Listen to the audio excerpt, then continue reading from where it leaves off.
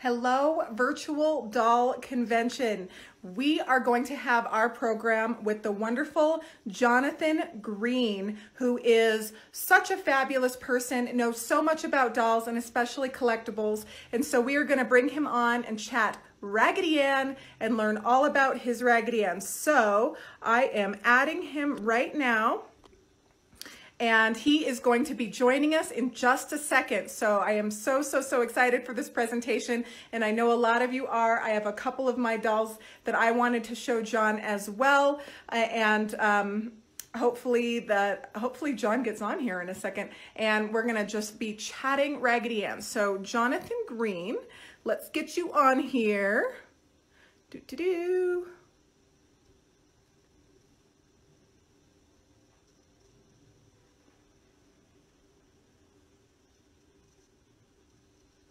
All right, here he is. So here is Jonathan. It worked. Hello, Jonathan. Hey, it worked. Got on. It worked. Yeah. We've been working hard to figure out how to work this whole process, and you've been amazing. Well, thank you. So thank you. So we are here uh, in Raggedy Ann Central, which is my house and your house. Yes. Can you tell our viewers real quick John, why don't we turn you around so we don't have that light behind you? Yeah, um, that's what I'm trying bit. to figure out. Uh, there you go. No, just turn. There you go. Just turn. You're good. There we go. Yeah, there, there you go. Yeah. Okay. There you go. So it's lovely New Hampshire with snow, so I'm afraid we have a little uh, lighting issues. Well, everyone has just been so flexible and understanding, and they are so excited for mm-hmm. this chat. So we're going to take what we can get. Exactly. So we are here, and um, Jonathan, you have loved Raggedy Ann for your entire life. Can you tell us a little bit of the backstory on that? My my love of Raggedy Ann and Andy. Yes. Um, yes. Allegedly, of course, family history, but allegedly, one of the very first times I went out of the house as an infant, my mother went to a children's clothing store and I grabbed a hold of a Raggedy Andy and would not let go and screamed bloody murder if they tried to take it out of my hands.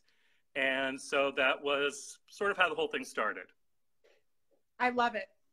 I love it. Um, I really loved Raggedy Ann. I'll just tell you real quick mm-hmm. for me because and I'm going to turn around and show a couple of my mom's dolls. Uh, I grew up in a doll shop, and a lot of the dolls I could not really play with because they were so breakable, and Raggedy Ann was not. So I was just able to, I fell in love with her mm-hmm. because I could drop her, play with her, hug her, do anything really, and she was going to be okay. I know you've seen a couple of my dolls, mm-hmm. these are just a few. These are ones that I actually made. Wow. yeah, I didn't know you crocheted. crocheted. my mom. Yeah, and these were all made um, before I turned 12. So th- this first one I made when I was probably like six years old. Very nice. Isn't that fun? Mm-hmm. That's adorable. yeah, thank you. Oh, actually, this is number one. This is the sock Raggedy Ann, and then I and then I went from there. But we all start somewhere with Raggedy Ann, right? Yeah, I love the green But I do hair. have a lifelong love. Yeah. So it is wonderful to chat with you. Now, Jonathan, you have a fabulous collection and you also have some dolls that are uh, for sale as well. So if any of our conventioneers are watching this and would like to reach out to you uh, to maybe purchase a Raggedy Ann, is that sure. okay? Yes. Um, okay. I'm going to do a switch though, so people are looking at the dolls, not at me, because um, the dolls are much more interesting. Uh, so, I mean, these. Let's see if I can get this here. These three are the earliest commercially made dolls, which were made by the Unbreakable Toy Company in Michigan. Um, most people don't know that there was toy making in Michigan. And um, these were made because the Gruelle family could not keep up with the demand for the dolls. So, as early as November 1918, the first year that they came out, these dolls were on the market. So they're pretty much about the same time as the cottage industry dolls. Mm-hmm. So now, do they still do, do do those dolls exist? The cottage dolls that have the painted on feet. Yes. Uh, why some have painted on feet and some don't is unknown. Um, one of the things about the early dolls, the early marketing is, I think my personal belief is that the intention was for every doll to be somewhat different. They were supposed okay. to be a doll that was found in the attic, and so they intentionally did not want every doll to look the same. Um, and that may have been the reason why they have different faces, they have different feet. Um, they're all the early dolls are just a little funky. And aren't they just wonderful? Are the earliest ones your favorites personally? Um, I think the earliest commercial dolls are my favorites. I have a hard time actually warming up to some of the cottage dolls. They're just a little funky and not sort of part of that is within the first couple of months that Raggedy Ann was out, Raggedy Ann also became a slang term for something that was poorly made. And I think that has to do with that early cottage industry production. Mm-hmm. So. It's important to note when we're looking at these dolls that the hair is um, dark brown, not right. red, which is what a lot of people think of when they think of Raggedy Ann. Well, they the dolls originally were not um, Raggedy Ann and Andy were not interchangeable, and in fact, the earliest dolls were not even made at the same factory. So Raggedy Ann, and so here's our our broad shot of the Raggedy Anns here. Wonderful. And then if you go up here and we look, love them. The Raggedy Andy is the one with the red hair, and also the faces are very different. Um, it's not the same doll with different clothing. That really didn't happen until the early 1930s. So, and then you know, I talked earlier about how um, the dolls all looked different and Raggedy Ann sort of became synonymous for something poorly made. These dolls started in 1920 and their intent was to have a doll that looked more like the illustrations in the book. Um, and that's actually in the contract that uh, the new dolls were to look more like the illustrations in the book that doll right there with oh. the with the uh, blue outfit that looks like the dress that is on the cover of the book. Is it? No that's um, that's a very different print that has sort of multicolored splotches on it. Um, the earliest dolls really don't have a floral dress. They have a see if i can get a good well they have like a paisley. Yeah we can see that. Yeah it's like a okay. uh, like a jacobean paisley print. Um, which the idea was to get something that looked old fashioned in the 1920s. Um, so that would have been their idea of something from the 1880s. So those are. They're just so much fun. They are. We, these early Raggedy Anns are great. I just now, how can smiles. we? Uh, what are some of the? Uh, yes, that's that's the next question I was going to ask. Is the smiles, and I wanted to touch on the uh, the amount of eyelashes, the different eyelashes on the early dolls? Well, there it. Johnny Gruelle was a very inconsistent artist, and that's one of the problems with the dolls. And so the dolls did tend to fit, uh, match what he was drawing in the latest book. And actually, my single lash doll isn't here, but there's a, a Volland doll that has one eyelash and that is consistent with what he was drawing at the time. Um, and so the different faces that sort of materialize, and up here, these are the very last ones, um, tend to be somewhat consistent with his drawing style.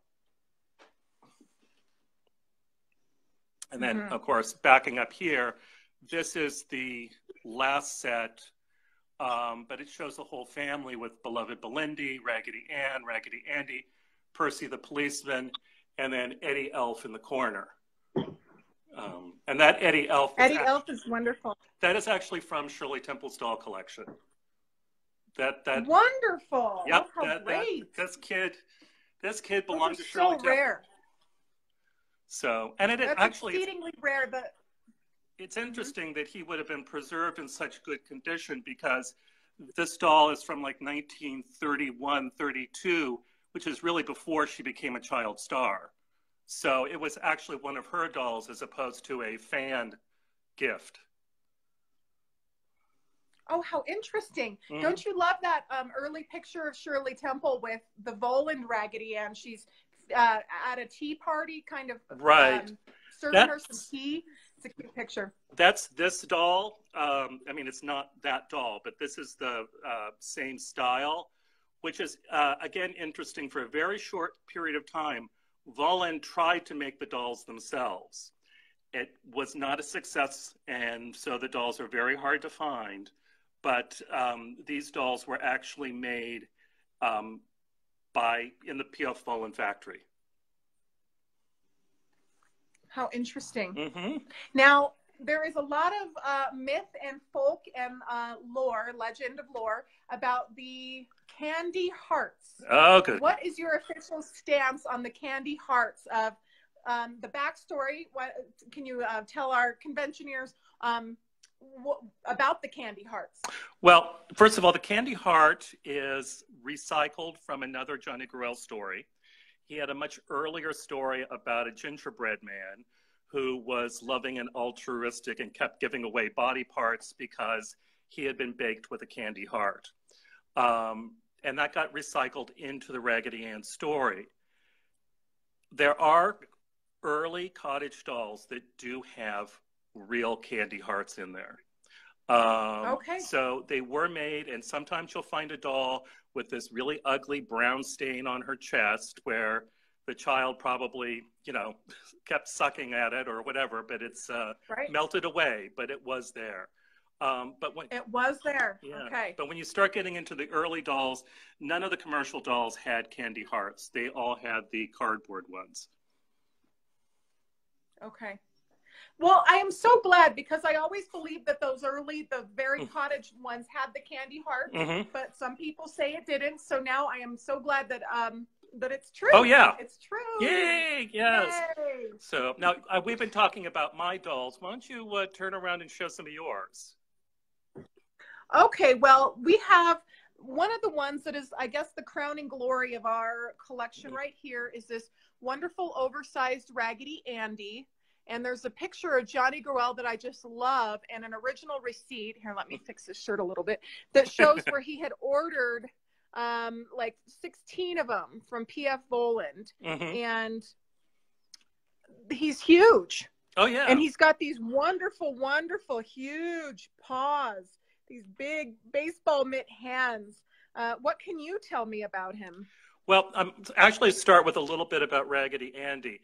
Um, Raggy, uh, the contract for Raggedy Ann was not in Johnny Gruelle's favor. So when they wrote the contract for Raggedy Andy, he insisted on having the rights to oversee doll production. That's one of the reasons why Raggedy Andy and Raggedy Ann were made at different factories.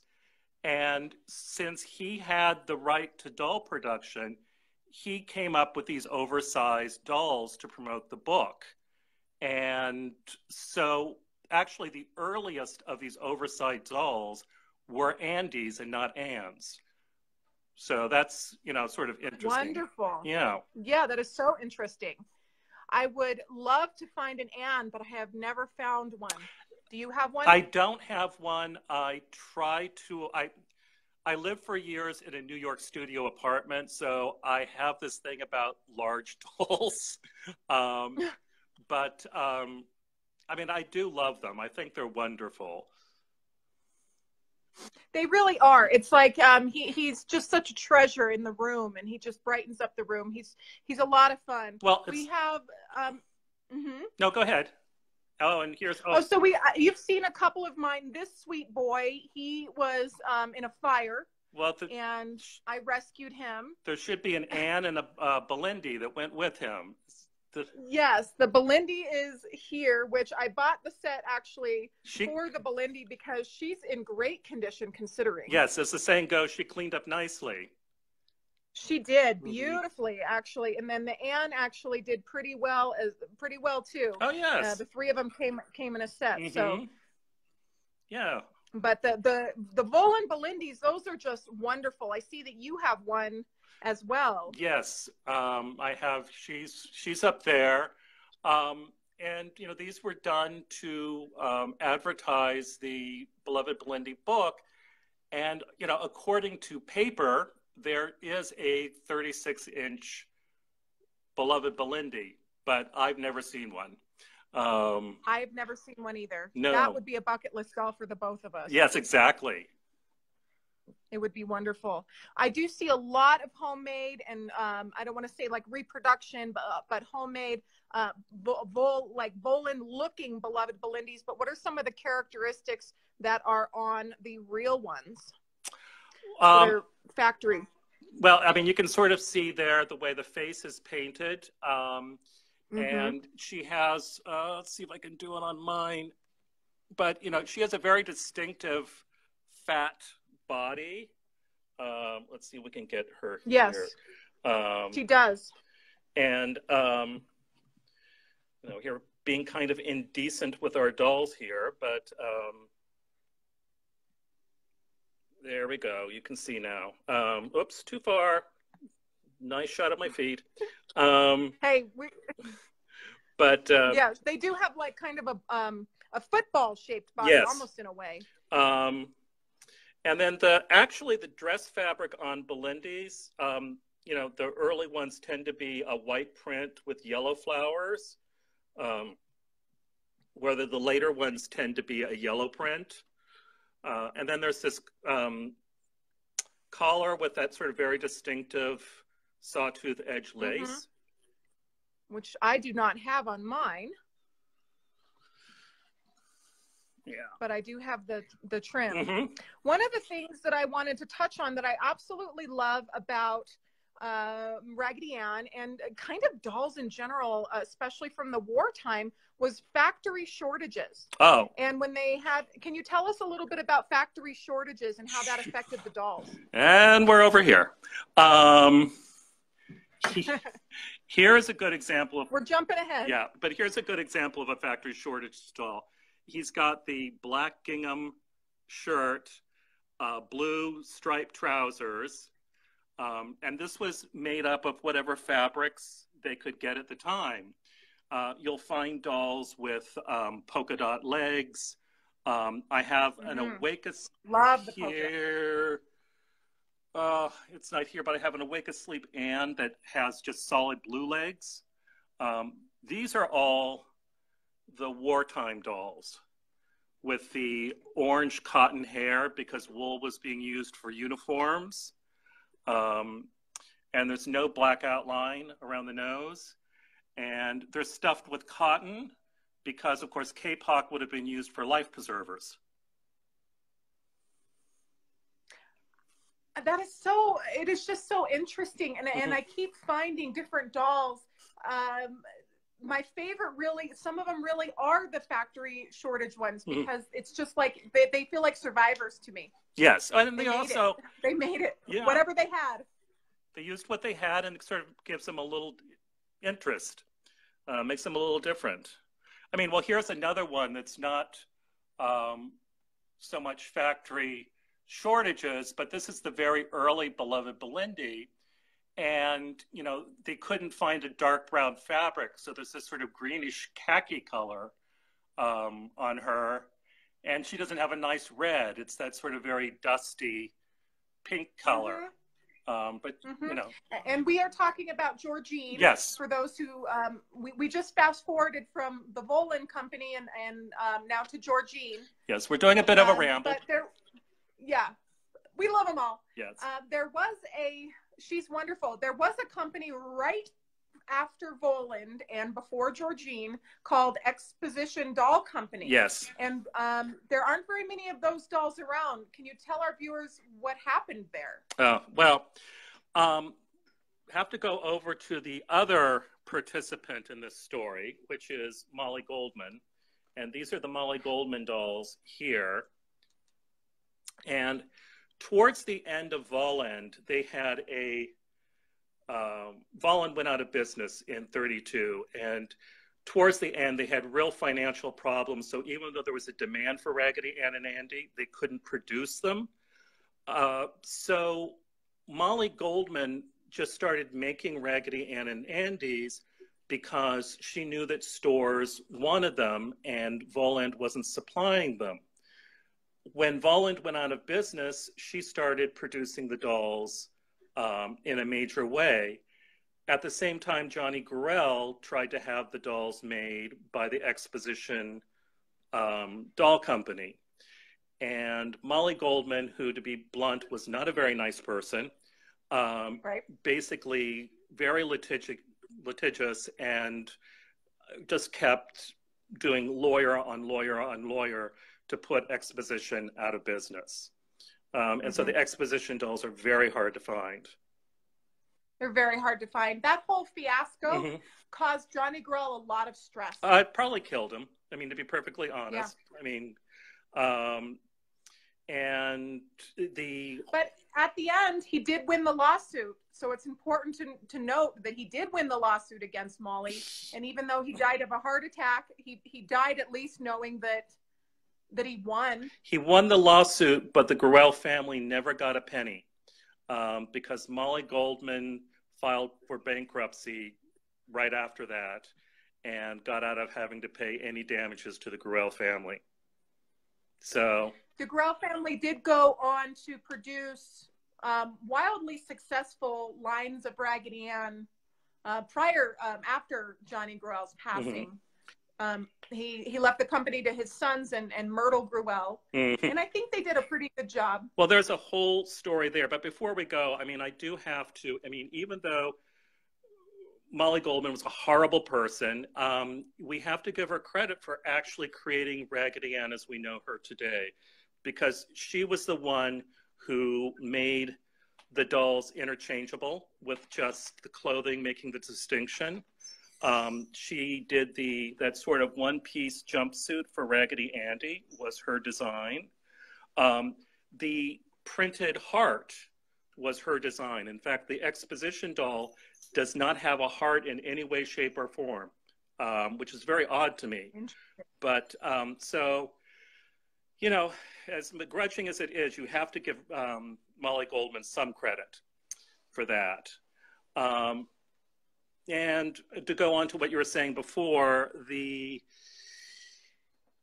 post Gruelle was just about as um, much conflict as the Molly Goldman because uh, basically the two boys couldn't work together, and um, Myrtle Gruelle actually had to dissolve the company, kick both of her sons to the curb, and reform the company with someone else in order to get things moving forward.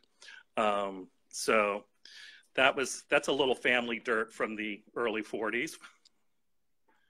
A little bit of dirt. You know, um, I agree with you on all your sentiments about Molly Goldman completely, but the dolls themselves are actually quite wonderful. Well, I mean, I have to say, I, you notice that I have, you know, several of some of these dolls and very few Molly's. Um, I've never liked the dolls. And when I was a child, we were talking about my love of Raggedy Ann and Andy. Well, at the same time, Shirley Temple's doll collection was at the Museum of Science and Industry in LA, and I had to go. And I loved her early Volland. Um, you know, mm-hmm. even at five or six, I love this doll. She had a Molly's Raggedy Andy, and I could not stand it. So, even as a young age, I was very opinionated about what is and is not a true raggedy.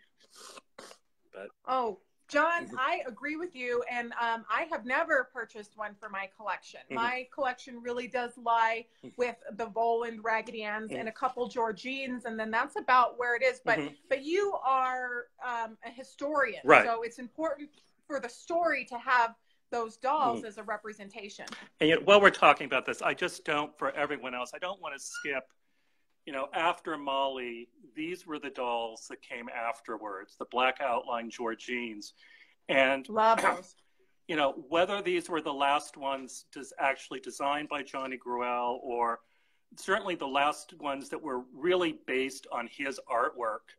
And I think they're kind of wonderful. Um, and they really do have a sense of Johnny Gruelle's Raggedy Ann and mm-hmm. Andy as opposed to something mm-hmm. else. So, I mean, I don't want to pass over those without giving them some mention.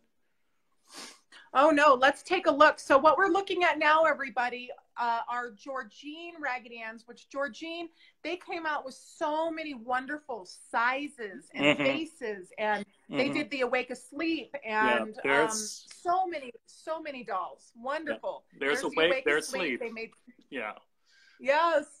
So, and you know, the other thing about these dolls is because it's before the wartime shortages, I, I find that some of the fabrics on these dolls are also kind of wonderful. They're that sort of you know mm-hmm. 30s florals. Um, so they're they're pretty neat. Um, so they're wonderful, and and you can you can actually purchase. Um, you can find them like mint in their box. Yes, sometimes because they are something Some that early doll collectors would have bought those to go. You know, come out once a year to go under the Christmas tree or something like that. Right. So, so and then these. They just have lovely faces. Mm-hmm. The earliest ones do have the black outline nose, which is which will help for collectors to identify mm-hmm.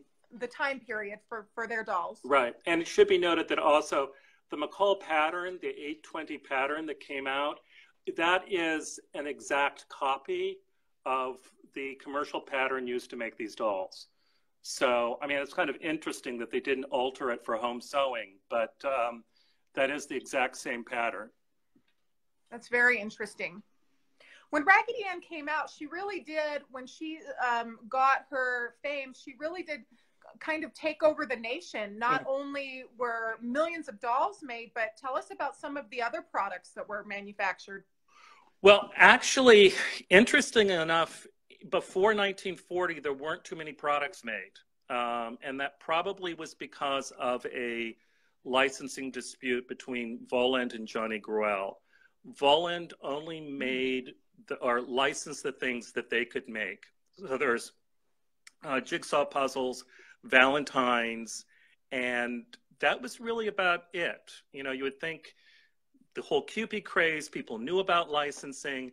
Why isn't there fabric? Why isn't there children's clothing?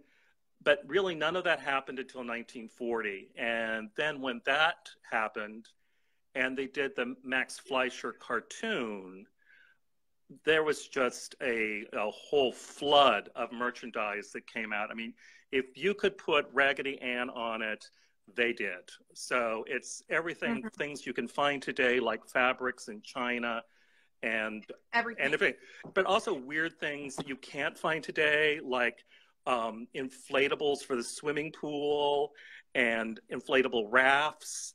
And I mean, there's all these sort of wonderful things when you're reading the licensing contracts that you're kind of going, "Ooh, I wish I could get one of those," but you know it'd be rotted by now. So right. you know.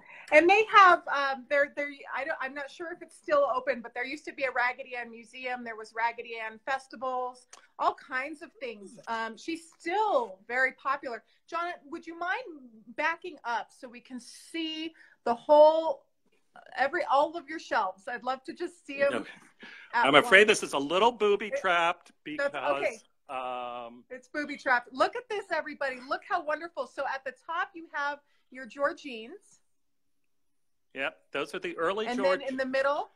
Then the okay. wartime, and then these are all the later Georgenes.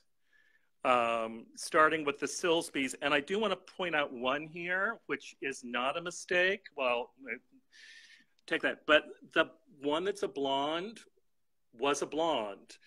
There was a period in the 1940s they did Raggedy Ann comic books, and in the comic book, Raggedy Ann has the sort of orangey rust hair, and Raggedy Andy is a blonde. And for a very short period of time, they actually made them to coordinate with the comic books. So if you see a doll oh, like that, it's not a mistake, it's not faded, it actually had blonde hair. See, I didn't even I didn't know that. I would have thought it was a factory shortage mm-hmm. or something. How interesting. Yes. Look at that. Yeah. So so these are some of the later ones. So, and then this yeah. is the, um, you know, this is, I've never understood this face, but this was the face they developed in the late 60s, right before they went out of business. Not out of business, but stopped doing, lost the license.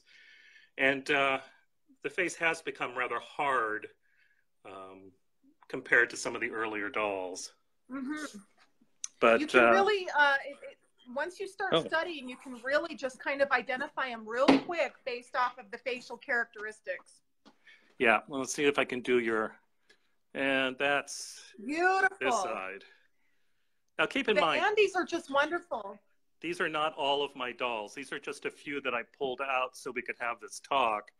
Um, because otherwise, you know, I'd have to rent a ballroom. But um, Oh my gosh, Yeah. I love it. And Jonathan, which uh, I don't want to put you on the spot, but are are some of these are your Vollands for sale? Because I know that you uh, mentioned that you were um, uh, going to be selling some of them coming up in the future. So I'd like to give our conventioneers first crack at it. yeah, because some of the Vollands are for sale because I like, you know, um, from my point, I don't need to have two.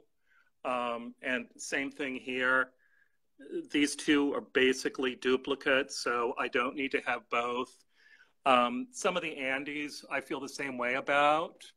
Um, I also I don't have them here because they take up so much space, but I have several Georgenes in boxes that um, again they just take up so much space, and I do want to make sure that they survive in pristine condition. So I sort of feel it's now time to let someone else be the uh, caretaker of those. So Right. Yeah. Well, maybe you can get all the ones that are for sale, and we can do another video together. We'll have a little um, Sure. shopping video. That would be a lot of fun. yes, sounds good. What do you what for you? What do you think about um, what, what's Raggedy Ann's legacy to the world? What what's her? Why do we all love her so very much still to this day? Well, yeah, no, I think the thing about it is, is that it depends on the time period. Um, Mhm. Because in the 1920s uh, or 1918 into the 20s, World War One had just ended. Times were changing rapidly. Um, there was all the sort of in, industrialization and new inventions, and women were going to work.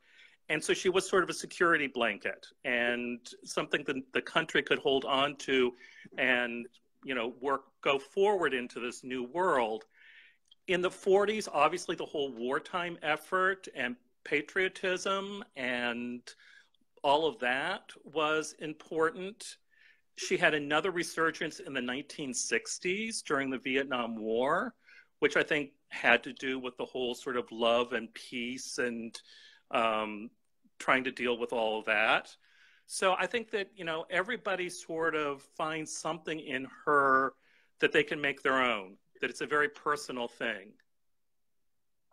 I I completely agree with you. And when and the words make their own. Mhm. That's that's how, I- why I think that um, she's so Focus on those for a little because- bit because I don't think that these two are Yeah. wonderful and I don't think they've gotten enough uh, attention.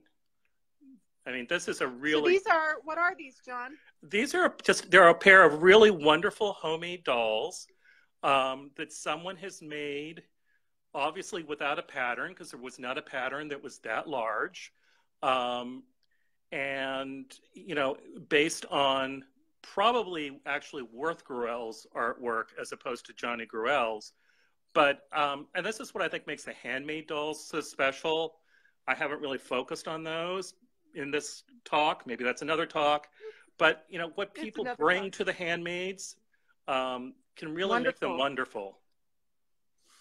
Wonderful They really are, and you can tell there's just these were meant to be a pair, but it's Mhm. funny. Andy is actually smaller than Anne, Mhm. and he and the faces are totally different, and the hands Mm. are different. Uh, what I love about them is that e- even if you didn't have much, Mhm. even if all you had was a little bit of yarn, Mhm. you could you could make a you could have a Raggedy Ann. Oh yeah, and what's interesting is that the um, instructions to make a Raggedy Ann appeared in women's magazines in the 1920s. Um, so they would give you sort of the basic idea of how to do it. And the other thing that's neat is sort of like the big pair you just showed. Possibly that was a case where there was a older sister and a younger brother, so the dolls were made size-wise accordingly. Um, to represent the Oh, children in the family. Right. Oh, that could be too. Mhm. We just don't know the story sometimes on them, and so it's fun to just kind of think about what actually happened and Mhm. and what was there. But I have found, and I know you have found in your um, travels and Mhm. collecting so many dolls that are Raggedy Ann. I guess we could say type, Oh yeah. where somebody put their own spin on it. hmm Absolutely. Really fun. Yeah, there are some really fascinating ones like that that were done. And during the 30s, when the whole litigation thing was going on, there were a few people who did cottage industry dolls that were, you know, they're not quite commercial, but they're not just homemade either. And some of those are really fun. Oh, I totally agree. hmm Yeah. Jonathan Green, this has been such a fun and interactive discussion. You and I and so many people watching just love Raggedy Ann and, and or or they now love her. What are some um, can you give us a way that our audience can, if they want to know more, learn more? I know you wrote a great article in um, UFDC Doll News. Yes, um, that's a good good place to start. Um, I mean, the article. I mean, I'll be perfectly honest. I have to do the caveat. Um, some parts got edited out, um, but uh, that's a good place to start. Uh, there's a couple of very good books on Johnny Gruelle, and I can't think of the um, author's name, but I'm assuming I can probably post a comment at the bottom of this and give you all the information. Absolutely. Yeah. Well, we all know who we all know who the expert is, and he is the one giving a presentation at the first ever virtual doll convention. Mhm. So, Yes. Um, yeah, no, you're you're phenomenal. So there are some great books, but also you are just a wonderful wealth of knowledge. Can our viewers write to you Oh. a question or reach out? I, you can always like to. email me, PM me. Um, I'm Okay. very um, easy to talk to, to get You're great. information from. Um, I'd be glad to share. Absolutely. Yes, you're always glad to share. You're Jonathan Green on Facebook, also known as uh, what's your what's your alter Oh, ego on Fritzl Facebook? Cruz, which is, yeah, it started started out to keep the doll stuff off the family pages, but then it just sort of became uh, the the other love of my life, Katie Cruz. So um, that sort of became the Katie Cruza personality. Um, Love it. yeah. So Well, that that'll hopefully. I think that will probably have to be our next program. So okay, sounds good.